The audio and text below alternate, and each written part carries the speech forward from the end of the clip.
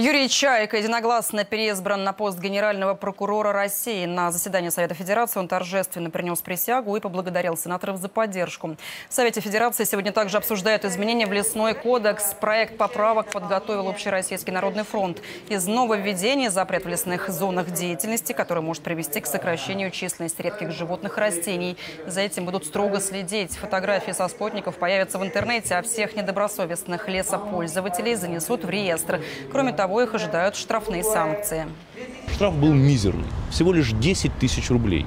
То есть э, лесопользователь, который вел нечестную, непрозрачную, а порой коррупционную работу, мог заплатить всего лишь 10 тысяч рублей.